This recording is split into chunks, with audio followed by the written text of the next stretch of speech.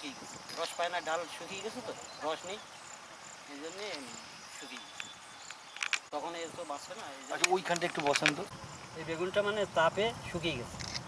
রস মানে ঠিকমতো টানতে পারছে না তো। এটাই বালি এলাকা তো উপরে যে ঝলসানো তাপটা পড়ে তাপটা সহ্য করতে পারে এবার শ্যালো যদি নিচে ছাঁচা হয় ওটার জল বেশি সময় থাকে না। মানে গাছে রাখতে পারে না। তাপের জন্য মরে গেছে।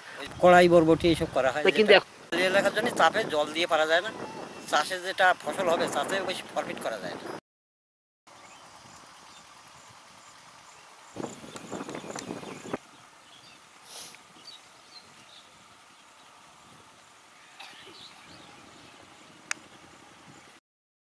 গাছগুলো মরে গেছে প্রচুর রোদের তাপে এমনি বালি অংশ জায়গা কিছুটা পলি আছে সব গাছগুলো এমনি তাপে মরে গেছে।